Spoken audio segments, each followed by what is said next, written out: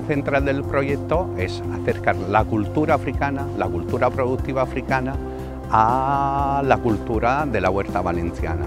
Hemos diseñado una serie de acciones innovadoras para permitir a la Asociación de Mujeres Africanas de Paterna de producir y comercializar producto primario africano y producto primario tradicional de la huerta valenciana.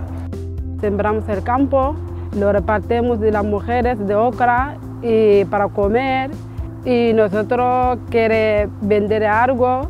La idea es aprender junto con las mujeres a relacionarnos con el territorio. Nosotros lo enseñamos de cosas de mi país y ellos también nos enseñamos de vuestra cultura. Ojalá que sale todo bien. Eso es lo que queremos nosotros.